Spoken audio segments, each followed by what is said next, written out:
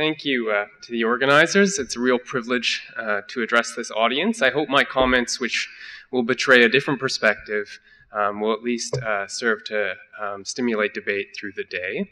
I see my role um, really is introducing a level of granularity, talking about individual researchers that are in this environment uh, that I would characterize as one of heightened emphasis on commercializing health research, and focusing specifically on graduate students, postdocs, uh, scientists in their uh, early stages of their careers, emerging health researchers, I'll call them.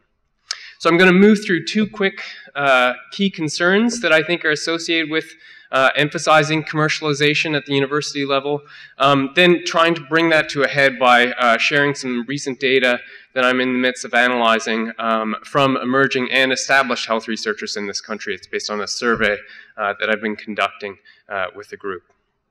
So I'll be talking about commercialization's potential to shape research questions, its potential to limit knowledge flows, and then really thinking more or trying to put on the table for conversation concerns about how that might impact future generations of scientists rather than particular individual careers my assumption behind these remarks, which I'm happy to defend in, in question and answers, um, is really that there's a fairly tight relationship between emphasizing commercialization and reliance on intellectual property to achieve commercialization. I'm happy to defend that assumption as you, um, if you'd like to challenge that. So first concern that I think um, is connected to this environment that academics are increasingly uh, finding themselves in is around shaping research questions. And really the point I'm trying to make is that um, if we focus on commercializing, um, there's going to be a strong systematic preference for uh, kinds of interventions that are easier to exclude others from using, interventions that are easier to appropriate um, and reap the rewards of in the marketplace.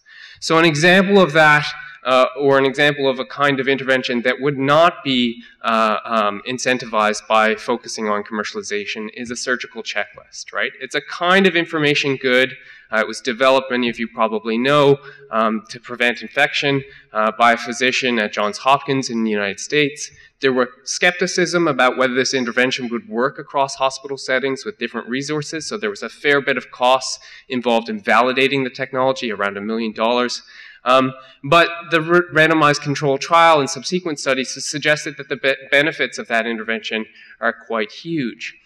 But the point that I'm trying to make is that this kind of intervention, it's really quite impossible to exclude others from using, right? You'd have to go into uh, surgical rooms in hospitals um, and try and, and, and, police that kind of activity. Uh, so therefore, it's very difficult to sort of attach this to a product, something that you can appropriate.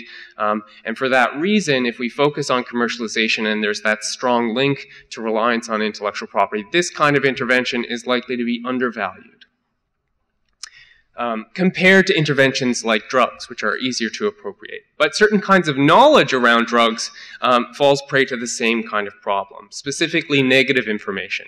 So does this drug work as well as an existing therapy? That kind of information, too, is hard to exclude others from using. Right? So a classic example of this would be new antihypertensive drugs during the 1980s. At the time, genetic, uh, generic diuretics were available, um, but with the uh, introduction of the new antihypertensives, ACE inhibitors, calcium channel blockers, um, with a much higher price tag, uh, there was a decrease in prescriptions of the old generics. Um, and yet there was no comparative benefit shown of those new drugs, right? The regulators didn't require it. When that study was actually done in 2002, funded entirely by the government, um, the comparative benefits were lacking right?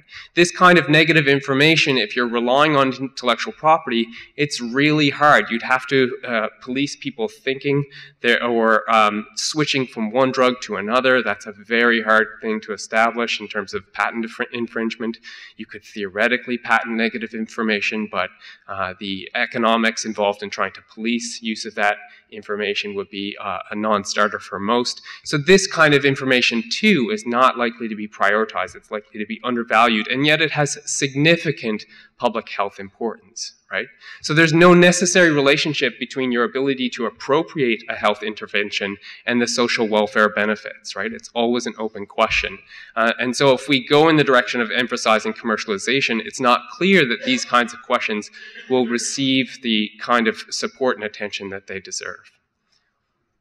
Is this actually happening? Well, that's really hard to tell. Are people changing their research questions? What researcher is going to talk about the research they really want to work on as opposed to what they're actually doing.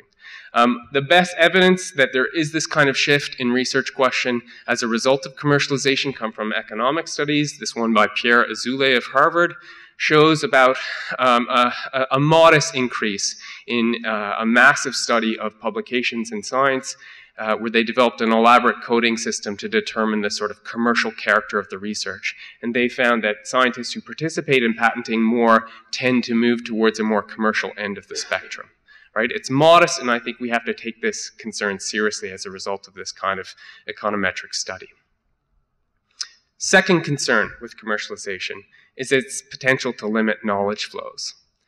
This has been the predominant concern in the literature amongst critics around commercialization, um, but the evidence, empirically speaking, is actually quite mixed about the impact of, of intellectual property or commercialization. Patents, in particular, don't appear to undermine, right? So the same study I just showed you a moment ago by Pierre Azoulay showed that actually patents seem to increase publication output, not crowd out that kind of activity. Um, similarly, survey data from John Walsh uh, in the United States shows that patents seldom seem to stop basic research in its tracks. Right? They don't seem to have that kind of impact. Academic researchers, uh, for good or not, are potentially just ignoring patents that might uh, be in their way. But it changes. The evidence changes depending on the kind of intellectual property we're talking about. In the only study, to my knowledge, that looked directly at the relationship between intellectual property broadly understood and commercialization outcomes, there was a decidedly negative relationship. So this economist compared data that was kept secret for a two, uh, two-year period by Celera, Craig Venter's company, compared to the data that was made open by the public human genome sequencing effort, and found that the data uh, that Celera produced was far less likely to be incorporated into a diagnostic test that, that was actually developed. So contractual secrecy, not patents per se, um, seemed to actually undermine, not enhance commercialization. Okay, so those are two concerns um, with a, a, fair bit of nuance with them. But let's think about them in terms of future generations of scientists, um, the intergenerational impact of emphasizing commercialization in the upstream research setting. I'm going to look at some of the survey data in relation to other surveys that have been done uh, by this uh, person, uh, John Walsh in particular, in the United States. So he's done a survey, a few surveys actually, looking at what motivates particular research projects. And as you might expect, um, commercialization motivators, like are the results of my research going to be patentable, tend to be ranked very low in their importance in choosing which research to pursue. On the right-hand side of the screen, you'll see our numbers from our survey, um, which are broken down by uh, career stage. And we found very similar things for so-called established researchers. But for emerging researchers, and we don't know whether these views uh, and motivators will remain the same, uh, the commercial potential of their research was a significantly stronger motivator. Okay, so we're seeing changes by career stage. A second survey, and this gets at the issue of um, secrecy really, uh, done by Hong and Walsh in 2009 shows that there's reason to believe that researchers are more concerned about competition and more concerned about um, discussing their research with uh, others. So there was a survey done in the 60s which asked uh, scientists how safe they feel discussing their research with others as a proxy for secrecy, and how worried are they about being anticipated or scooped in their research. And they found in, I'm showing you data uh, from researchers in experimental biology, that there was a significant increase between 66 and 1998.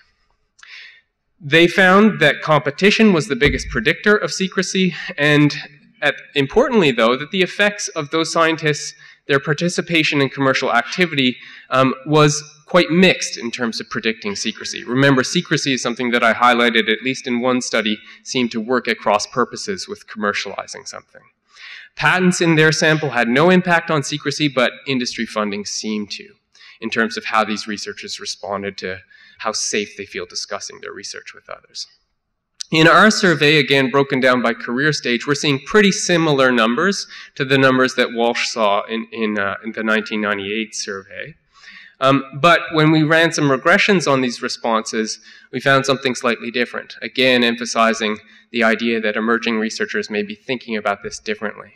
So competition remains a major predictor of secrecy across career stages, but their interest in commercializing their research remains a stronger or only a significant predictor for secrecy um, for emerging researchers. Established uh, scientists in our sample um, did not seem to be more likely to feel unsafe discussing their research, um, regardless of whether they were interested in commercializing it or not.